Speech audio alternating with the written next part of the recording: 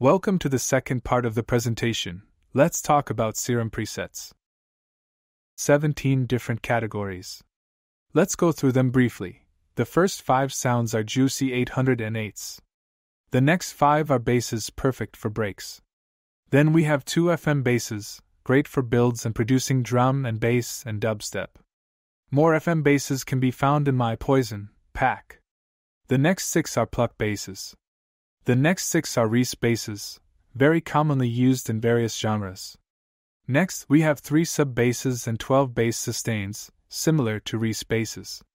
Then, we have nine chords, regular, LFO, and in various styles.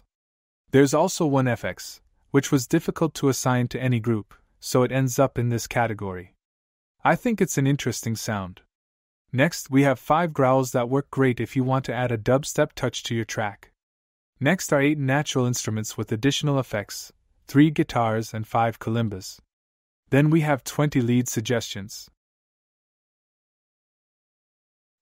Next are five lead percussions, similar to samples but with additional effects. Then I added three noises. Two of them are from the Bass Madness pack. If something is good, there's no need to change it. I only added one new noise, which is crowd noise, Next, we have 12 plucks. I use them not only in breaks but also in drops. The next three are stabs. I wanted to solve a problem that kept bothering me when sampling stabs. Now you can easily layer your bass with one of the stabs. The last group is vocal shots, we have 10 of them. Perfect for future bass and melodic genres, as well as an additional lead layer. You can find a better presentation of these sounds in the intro video. I'll go over these sounds quickly now.